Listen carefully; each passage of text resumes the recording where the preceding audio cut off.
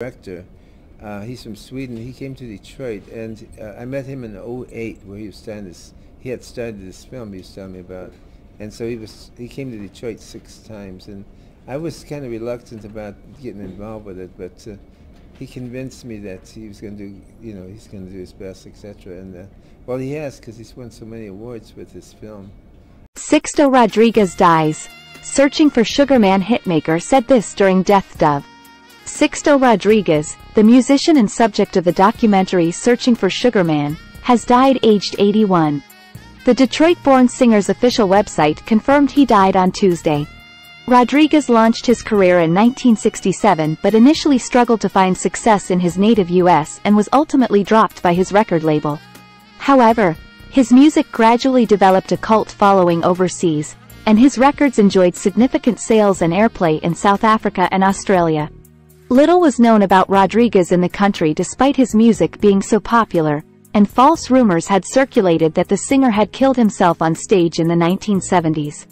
But Rodriguez was in fact still alive and well and living in Detroit, having returned to a life of relative obscurity and construction work. Despite his success in the country, Rodriguez only found out about his success in South Africa when his eldest daughter, Eva, came across a website dedicated to him in 1997 when the internet was still in its relative infancy.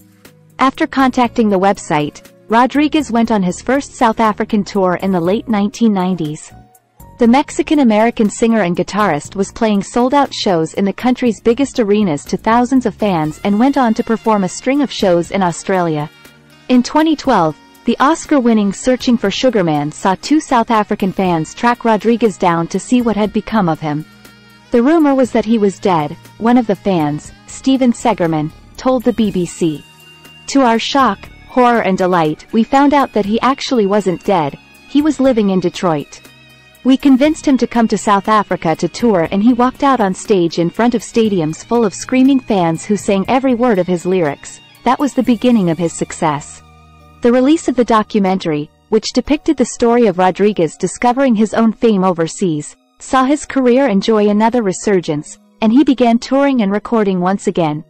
The film prompted the two albums Rodriguez recorded in the early 1970s Cold Fact and Coming From Reality to become successful around the world four decades after their original release. And Rodriguez played festivals including Coachella and Glastonbury.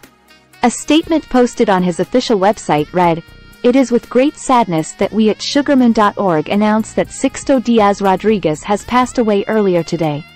We extend our most heartfelt condolences to his daughters Sandra, Eva and Regan and to all his family. Rodriguez was 81 years old. May his dear soul rest in peace. The musician's cause of death was not announced. Simon Chin, who produced Searching for Sugarman, described Rodriguez's death as such sad news.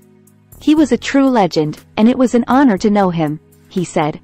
What a privilege to be able to share his amazing story with the world. Rip Rodriguez your music will live forever.